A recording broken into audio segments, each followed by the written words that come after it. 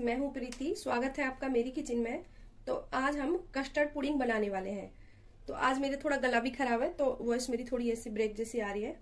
तो आपके लिए मैं सामान बताती हूँ, मैंने क्या क्या लिया है। साढ़े तीन सौ एम मैंने मतलब तीन कप दूध लिया है, साढ़े सात सौ एम दूध है मेरा। और एक पैकेट मैंने टोस्ट लिए हैं, रस जिसको बोलते हैं। एक बाउल चीनी जिसकी मैं चाशनी बनाऊँगी, और चार टेबल चीनी है जो मैं कस्टर्ड में डालूँगी। तीन टेबलस्पून मैंने कस्टर्ड लिया है और कुछ ड्राई फ्रूट लिए हैं, जिसमें काजू, बादाम, पिस्ता गार्निशिंग के लिए।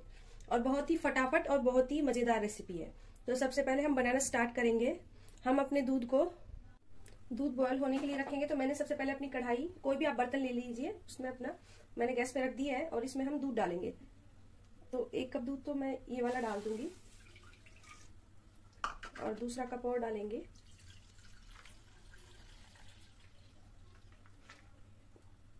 दो कप दूध इसमें डाल देंगे और एक कप दूध के अंदर मैं अपना जो कस्टर्ड है, वो ठंडे दूध में ही अपना घोलूँगी। और इस दूध को हम बॉयल होने तक, उबाल आने तक इसको गर्म होने देते हैं, तब तक हम अपना कस्टर्ड पाउडर घोलेंगे। तो ये देखिए, हमने एक बॉल ले ली है और इसमें अपना तीन टेबल स्पून मैंने कस्टर्ड पाउडर लिया, ये ले लेंगे। आप इसकी जगह अरारोट या कॉर्नफ्लावर पाउडर भी ले सकते हैं। ये हमें थिक करने के लिए है, हमने लिया है। तो इसको इस तरीके से ऐड करेंगे और इसको मिक्स कर लेंगे।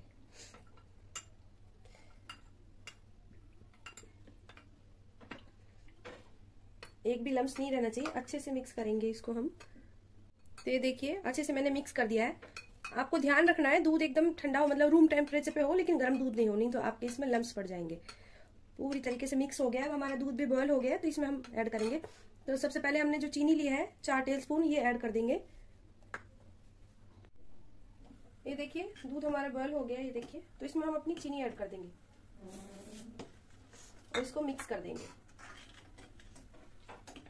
बहुत ही मज़ेदार और झटपट बनने वाली रेसिपी आपका जब भी मन करे, तभी भी आप फटाफट से बना के खा सकते हैं। अब इसको लगातार चलाते हुए मैं इसको डालूँगी और लगातार चलाते हुए रहना है। गैस को फ्लेम लो कर दूँगी। इसमें लगना नहीं चाहिए। इस तरीके से। अब इसको मिक्स मैं गैस का फ्लेम तेज कर दूँगी और इसको मिक्स कर दूँगी। और इसको गाढ़ा होने तक चलाना है। तीन चार मिनट के लिए पकाना है। और फिर इसको गैस का फ्लेम ऑफ़ कर देंगे।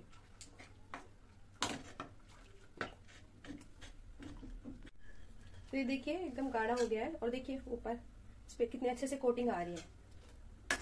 तो इसको ज़्यादा नहीं पकाना है, बस तीन चार मिनट के लिए ही पकाना है, कि पूरी तरह ये पक जाए, इसमें मिक्स हो जाए और गाढ़ा हो जाए। तो इसको तीन चार मिनट हो गए, अब इसको मैं बंद कर दूँगी। देखिए कितने अच्छे से, और इसकी कंसिस्टेंसी देखिए कितनी अच्छी है। बहुत ज़्यादा, इसको थिक करने से क्या होगा, जो हम बनाएँगे जो हमने टोस्ट लिया हमने रस, उसके अंदर ये जाएगा नहीं फिर। तो पूरी तरह वो फिर सॉफ्ट नहीं हो पाएँगे। तो ये देखिए। अब मैंने गैस का फ्लेम ऑफ़ कर दूँगी। तो इसके बाद हम अपनी चाशनी तैयार करेंगे, लेकिन मेरे पास ऑलरेडी बनी हुई चाशनी है तो इसलिए मैं फ़िलहाल के लिए नहीं बनाऊँगी चाशनी। जब, लेकिन आप लोगों को जब चाशनी बनाना है तो एक बॉल चीनी लेनी है, एक कप मतलब और हाफ़ कप पानी। और चाशनी को मतलब ज़्यादा थिक गाढ़ा नहीं बनाना है, हल्का चिपचिपा बनाना है बस। चाशनी में तार नहीं लाने, उतनी गाढ़ी चाशनी बनानी है। मेरे पास ऑलरेडी बनी हुई थी तो देखिए, मेरे पास ऑलरेडी बनी हुई थी चाशनी, मैंने जलेबी बनाई थी तो उसकी बची हुई थी तो मैंने उसको छान के और उसको गर्म कर लिया है। तो अभी हम अपनी डिश तैयार करेंगे। लेकिन आप लोगों को बनानी है जब चाशनी इसमें चाहिए तो एक, चाहिएगी तो एक बोल चीनी और हाफ़ बोल पानी, उस तरीके से बनाना है। मैंने सोचा किस लिए खराब करना, इसी से बना देती हूँ, इस वजह से वेस्ट नहीं करना है। तो मैंने एक ट्रे ले लिया है, और इसमें हम अपने ये, जो हमने टोस्ट लिए हैं, ये सेट करेंगे अच्छे से। हर जगह इसको पूरी तरीके से सेट कर देंगे। कहीं भी जगह नहीं रहनी चाहिए।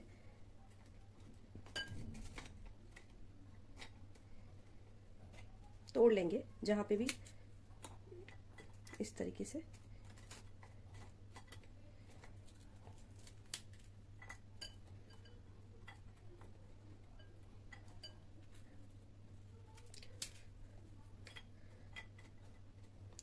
फैला हुआ कोई भी आप ट्रे ले लें, बर्तन ले लें। और ये जगह नीचे से खाली नहीं छोड़ना है। इसके तले में अच्छे से लगाना है।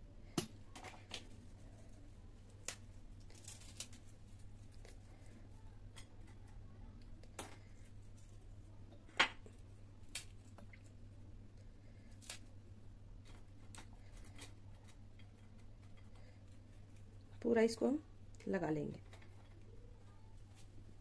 तो चलिए इसको बनाना स्टार्ट करते हैं। सबसे पहले हम चाशनी लेंगे और चाशनी गर्म लेनी है, ठंडी नहीं लेनी है।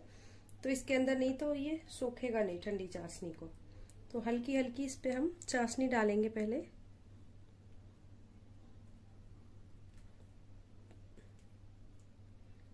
सभी में थोड़ी थोड़ी चाशनी डाल देंगे।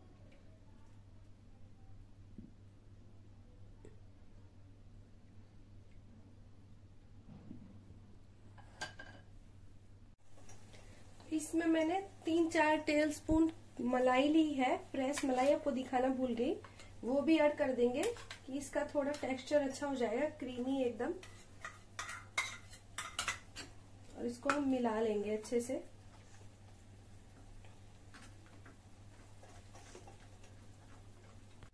तो देखिए, अच्छे से मिक्स हो गया है। थोड़े थोड़े दाने भी हो गए जैसे मलाई के।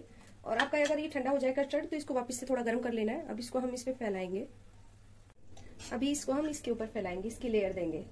पूरा अच्छे से कोट करेंगे इसको। इस तरीके से।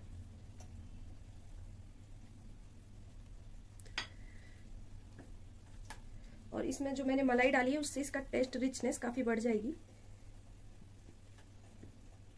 और बहुत ही थोड़े सामान से आपके पास जो भी घर में अवेलेबल है, उसी से बन जाएगी। तो आपको ज़्यादा बाहर से लाने की सामान ज़रूरत भी नहीं पड़ेगी। अब हम इसकी दूसरी लेयर लगाएँगे। ये देखिए, इसी तरीके से इसकी दूसरी लेयर लगा देंगे।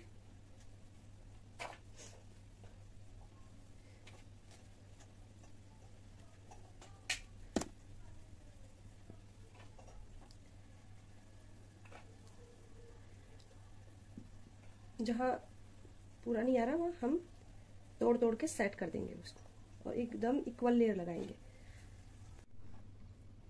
इसमें हम थोड़ी थोड़ी चाशनी फिर डालेंगे हल्की हल्की ज़्यादा नहीं डालेंगे थोड़ी थोड़ी डालेंगे, कि ज़्यादा मीठा नहीं होना चाहिए।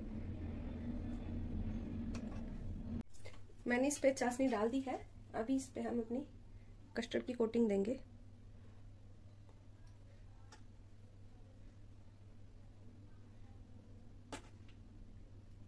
ये देखिए, अच्छे से पूरा इसको कोट करेंगे।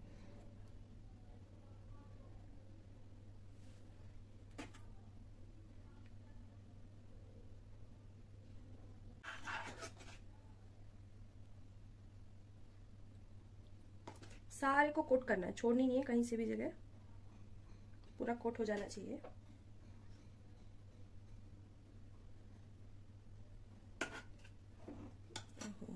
यहाँ से थोड़ा टपक गया है।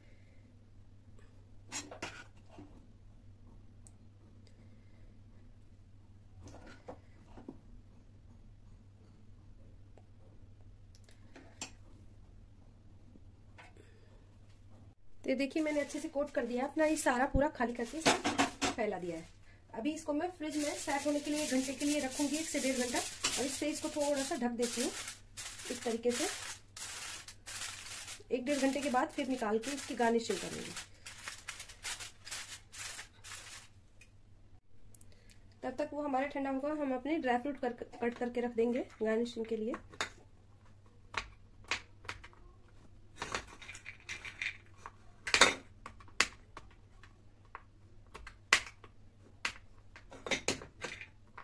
तो ड्राई फ्रूट तो मैंने अपने सारे कट कर दिए हैं और ये भी एक घंटा हो गया तो इसको मैं निकाल के ले आई हूँ।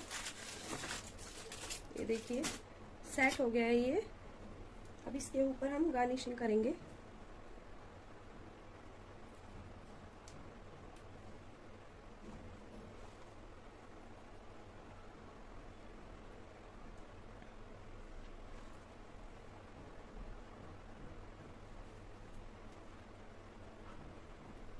ये हम इसमें सारी गार्निशिंग कर देंगे, पिस्ता की, ताकि अच्छे से कलर उभर के आए। मेरी प्लेट थोड़ी गहरी कम है, इसलिए थोड़ा ऊपर तक आ गया है।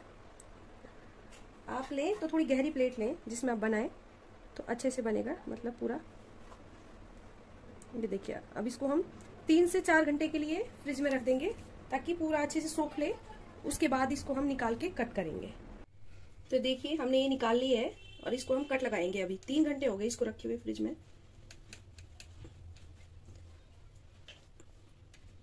जितने बड़े पीस आप बनाना चाहें, उतने बड़े पीस बनाएँ।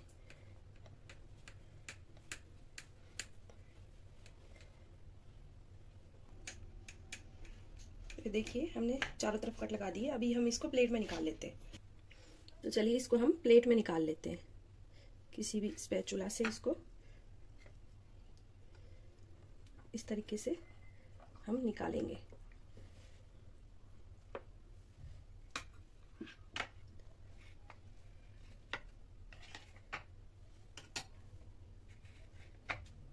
तो देखिए, इसकी कितनी अच्छी लेयर और कितनी स्वीट डिश बनके तैयार हुई है हमारी।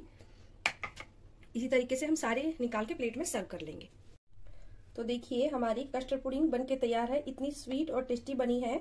तो अगर आपको मेरी वीडियो पसंद आई हो तो लाइक शेयर सब्सक्राइब कीजिए। बेल आइकॉन को प्रेस कीजिए। Thank you